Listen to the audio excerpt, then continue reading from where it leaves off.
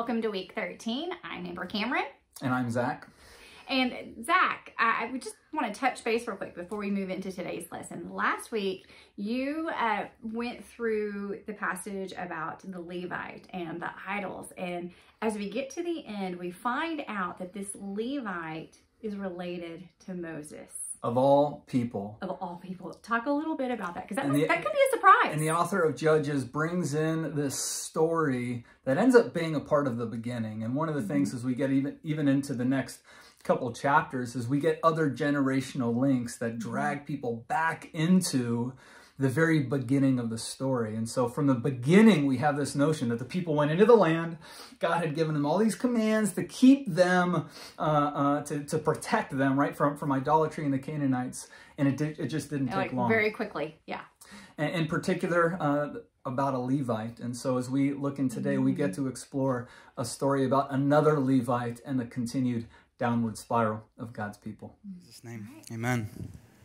Number of years ago, uh, about a year after my wife and I moved to Mexico, we were asked to staff a discipleship training school. And uh, in this school, we had 50, 60 students from all over the country, the 18 to 25 ish range mostly, come in for, uh, for a, f- a couple of months, a few months. They would uh, go through training, lecture phase, and then they would do outreach. And so we were part of the staff for this. And one of the things about this school that was different from any other school I had been a part of is in the back of the, of the room in which the lecture was happening, there were some parents who had small children that were not yet walking, but that were going and gone, just making sounds during the teaching. And in my impatience, and dare I say childlessness, I would think to myself, how in the world could they let that interrupt that? And I complained on multiple occasions to make my voice heard. Then years later, I had kids, and something happened. You see, I started to not hear it anymore because children make noise, and that noise eventually turns into dadas. And something happened in my brain over the course of a few years in which, when the dada, dada, dada began, my ears knew what was happening, but my brain would refuse to register it. Such that sometimes, and I know some of you can relate, it would take four, five, ten, twenty times before you're like, oh yeah, you're talking to me. Because what happens is the noise, the cries of our little ones, for many of us, kind of fade into the background. It just becomes background noise.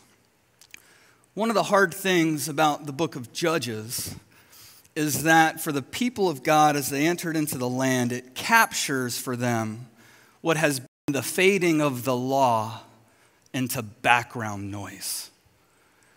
And as the law had faded, God's cries to his people, God's call to his people, and I know I'm kind of comparing the cries of your children to the law, but not so much. I hope you get where I'm going with this. But that God's call to his people to live the kind of life they were designed for faded over time. And as it did so, the sin that he warned them against became more and more tolerable. God's commands became background noise, and sin became tolerable. What we're going to do this morning is we read a story of what seems like a particularly heinous sin, a particularly heinous, wicked, terrible. Many of us respond to this, I'm sure, with, with deep, emotional, vehement, just, just visceral responses towards this text. But as we go into this, one of, uh, one of my hopes is that we actually get a glimpse in our response towards this story, we get a glimpse of God's heart towards sin. I'm going to begin. I'm going to read through it, we'll paraphrase some, and uh, offer some comments, and then I have three points for us to consider as we go through the text. Judges 19:1, if you're not there already. In those days, when there was no king in Israel, a Levite staying in a remote part of the hill country of Ephraim acquired a woman from Bethlehem in Judah as his concubine. Now, there's no name. There's no name for the Levite. There's no name for the woman. They're just referred to as the Levite and the concubine. And one of the literary devices used here and in other parts of Scripture is a nameless character is often representative of a far greater and widespread issue.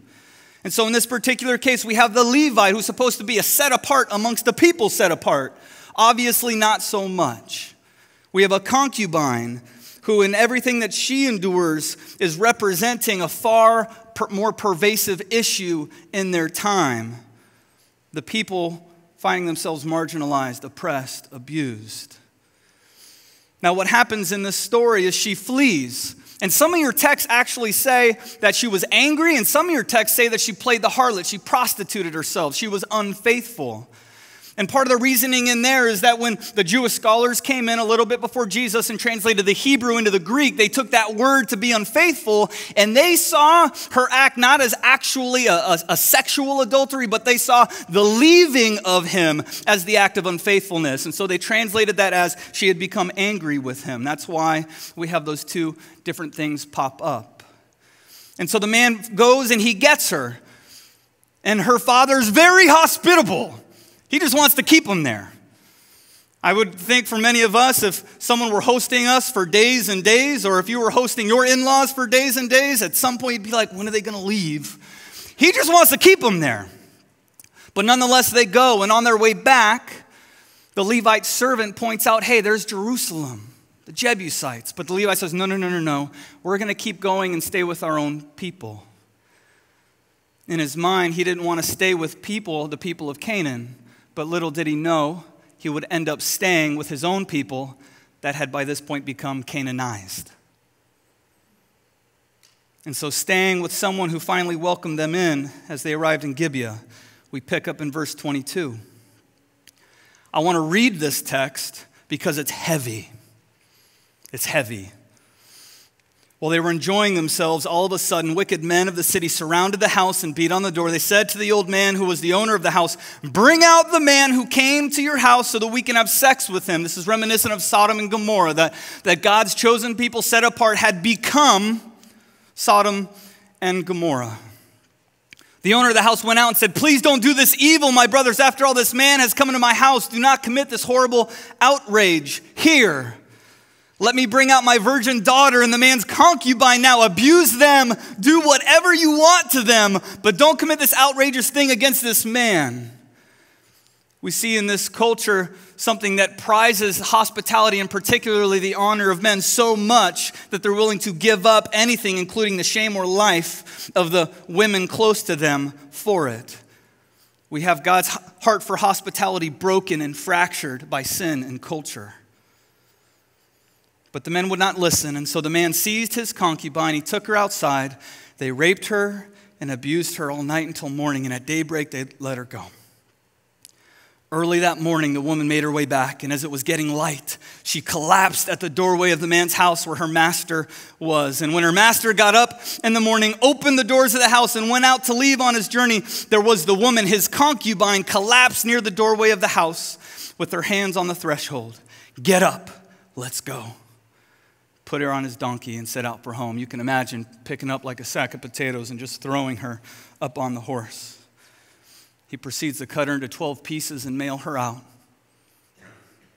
And then finally, in Judges 24 through 7, when presenting his case to Israel, summoning God's people together to render a verdict against the people of Gibeah, we see in verse 5, he says, They came to attack me and surrounded the house at night. They intended to kill me, but they raped my concubine, and she died. What little there might be, very, very little, to reserve any sort of opinion for this Levite is stripped out in him making himself the victim in this whole scenario. What do we do with a passage like this? Why is it here? Why does God's word include such a graphic story? And why is it so hard? I think many of us in different ways see ourselves in the story, both as villain and for some of us as the victim. For some of us, this is in part our story. I looked up some scary statistics this week. In 2010, 85,000 forcible rapes were reported in our nation. 2017, 18% of women surveyed reported having been raped, 44% having been sexually victimized in a way other than rape. In a compilation of statewide data, it's estimated that roughly half a million people a year are victims of sexual assault. That's men and women.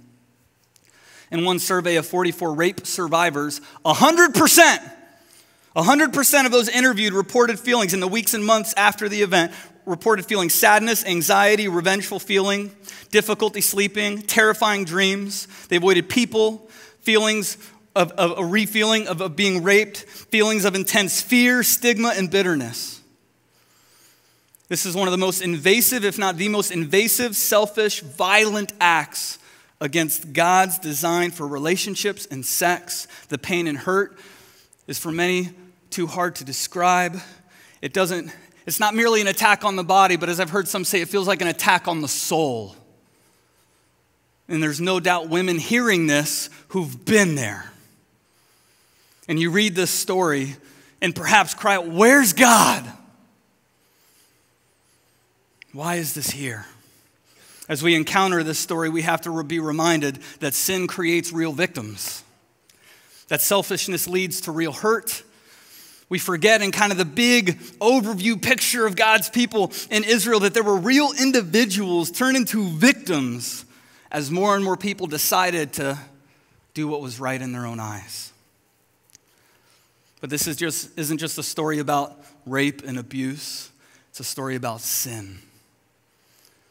And that's why it's hard.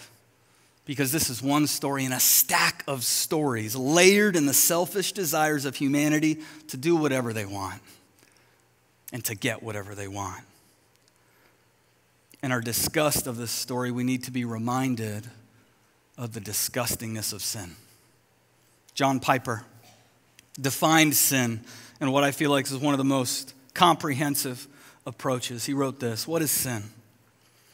It is the glory of God not honored, the holiness of God not reverenced, the greatness of God not admired, the power of God not praised, the truth of God not sought, the wisdom of God not esteemed, the beauty of God not treasured, the goodness of God not savored, the faithfulness of God not trusted.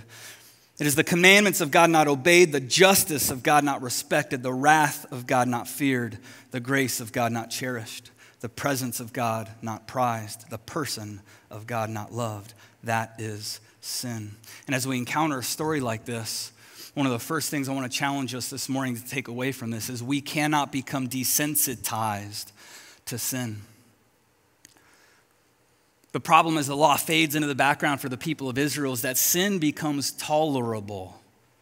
As the law fades, as the commands fade, sin becomes tolerable. And it begins with a small thing that lives in your home with you, and it grows and it grows, and the ripple effects stretch and they stretch. And for many of us, it takes a story like this to actually get us angry and upset.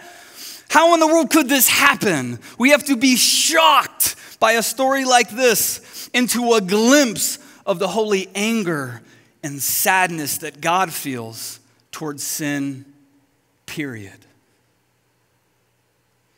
please don't hear what I'm not saying. And this was hanging in the back of my mind as I was thinking about this this week.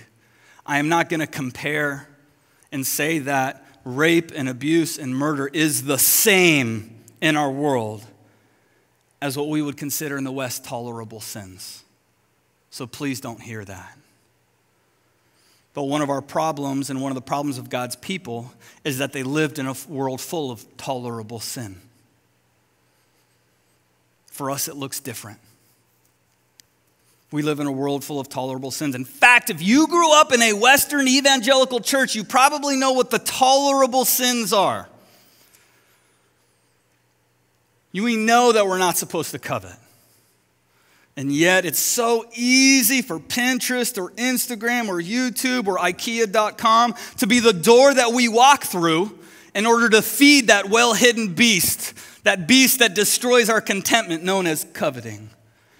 We know God calls us to be hospitable and to be generous, but as that fades into the background, it's just easy to just not do so and to hide it well.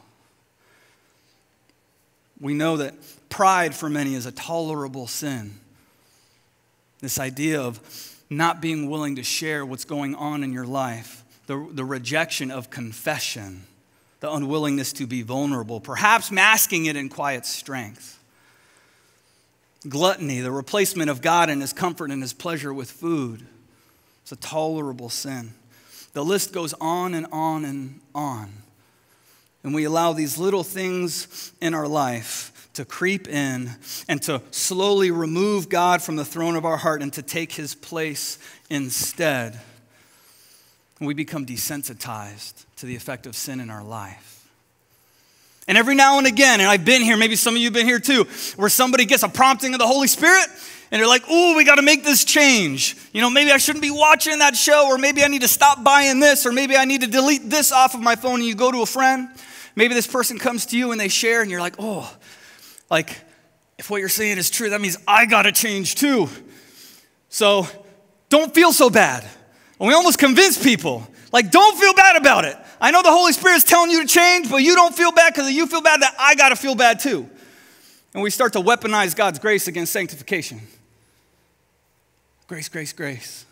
When the Spirit is prompting change. And then we come to a story like this in the book of Judges. And we see the shock of where sin ultimately leads. And we experience viscerally in our hearts and in our minds what I believe God's posture as a holy and perfect God is towards the rebellion of his people. Don't become desensitized to sin. Our second reflection as we look through this story is that the law, while given to guide God's people, wasn't enough to change people's hearts. Think about last week and think about this week. Who were our main characters? The Levites, right? And God, Israel was meant to be set apart from the world to be different. And among the people of Israel, the Levites were set apart to be different. And of course, the main characters of these stories are the Levites. Now, one of the interesting things is it says at the very beginning of this chapter, the Levite took a concubine. Now, in Leviticus chapter 18, it tells men that they're not to take the they're not to take as a wife uh, uh, any sister of their current wife. Now, some people read that and they think to themselves, well, I'm not allowed to marry their biological sister. But every other time that phrase occurs in Scripture, it actually doesn't refer to the biological sister, it refers to everyone else in the category. Which is why that during Jesus' time, the Jewish people at Qumran, in a commentary on that verse in Leviticus, said that men were never supposed to take more than one wife. We see this reinforced in Deuteronomy when it says, The king shall not have many wives. And yet, here it is the Levite, the one who is to be set apart amongst the people set apart, is the one taking a concubine. The law didn't change people's hearts, and the law couldn't fully set people apart. Then why was the law given? Well, Galatians gives us actually a glimpse into that. Paul writes in his letter to the Galatians For all who rely on the works of the law are under a curse, because it is written, Everyone who does not do everything in the book of the law is cursed. Now it is clear that no one is justified by the law because the righteous will live by faith. Going on to verse 19. Why then was the law given? It was added for the sake of transgressions until the seed to whom the promise was made would come. Down to verse 24. The law then was our guardian until Christ so that we could be justified by faith. Why was the law given? to show us our need for a Savior, to limit the injustice in the world, and to protect us in part from our own transgressions. But it didn't change hearts. And we actually learn a little bit later that this story, just like last week, happened not too long after they entered the land. They hadn't had a lot of time for Canaan to come in and do their thing amongst the people. And while God gave them boundaries of love for, for their greatest benefit, for their greatest good, for His greatest glory, that they quickly passed out through those boundaries, doing their own thing. The law couldn't change hearts. And as we read a story like this with the Levite as its main character, we have to realize that it takes something far, far more than just the law. Ultimately, it points us to our need for a Savior. The book of Galatians should constantly point us to our need for Jesus. And it's Jesus who says in John that there is no love greater than this, that a man lay down his life for his friend. I say this because my third reflection this morning, my final reflection, is that Jesus treats his bride different. As we read through this story, as we walk through the gruesomeness of this text, that you and me have the benefit of living in a post Jesus world. Because Jesus, when he talks about love, said that there's no love greater than this that a man lay down his life for his friend.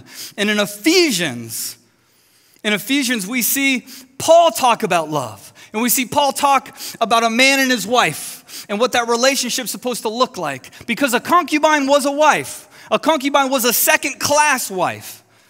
A concubine didn't share in the inheritance, but was often brought in in order to produce additional children. So though she didn't, she didn't threaten the inheritance of others in the family, but she could produce heirs. And in Ephesians, we see what it is that a man is supposed to do in his treatment of his wife. People get stuck on the submission language in Ephesians because it says submit to one another. And then it says women submit to your husbands. But then what does it say to the men? This is where the men screw up. Over the years, what does it say to the men? I would say is, is quite challenging of a command. It basically says, be Jesus. Give yourself sacrificially for your wife, that she may be presented holy and set apart before God. And then we end up in this story with that as our backdrop, with that as God's design for love and relationships. We end up in this story where the Levite has to choose. He has a choice to make. And there's men outside in this town that he's traveled to, and they're asking for him, and they want him. They want to sodomize and brutalize him. And he knows that if he goes out that door, that he will face violence, he will face danger, that bets are off and there are no guarantees. And so, looking at his concubine and thinking, it's either me or you, he grabs her and he pushes her out the door. Take her. Have your way. Just leave me be. He purchases his own safety and security with her abuse. He purchases his own life with her shame. He purchases a good night's rest with her life. Take her. Take her. I know some here have felt cast aside in life. Some of you have experienced neglect. Some of you know what it is to be trampled over by the self serving interests of others, and perhaps at some point a spouse. But Jesus treats his bride different. And over a thousand years later, the very God forgotten in this chapter, because God isn't looked to in this chapter, would take on flesh for the very people who had forgotten him. He would live the perfect life that they couldn't. And in the final hours of Jesus' life, he would face a decision.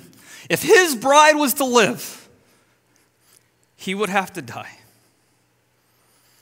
And in the stress of those moments, with sweat like blood, he asked his Father in heaven if the cup could pass from him. But nonetheless said, Your will be done. The Levite said, Take her that I might live. And Jesus said, Take me that she might live, that you might live. Jesus knew you and all of your mess, your mistakes, your baggage, your brokenness, the terrible things you've done, the shameful things you've thought, the people you've hurt, the loved ones you've betrayed, all harm done by you and to you. He knew it in those moments. And he said, Take me, not her. As we wrestle through the text in the book of Judges and we see the acts of the Levite, we have to be pointed in the depths of that darkness to the beauty of what it is Christ was actually willing to do. And this chapter does confront us with the brutality of human sinfulness. But in that brutality, we do get to see the beauty of our Savior. We see the shortcomings of the law, but we see the sufficiency, ultimately, of Christ. And because of where we stand, we get to see it against the backdrop of what Jesus was willing to do for us. And so I encourage you to let the weight of the chapter sit. There wasn't a lot of levity here. We often insert that. But this is a chapter that just needs to be felt. May we understand what it is that sin does to the world. And may we see in this our desperate need for a Savior.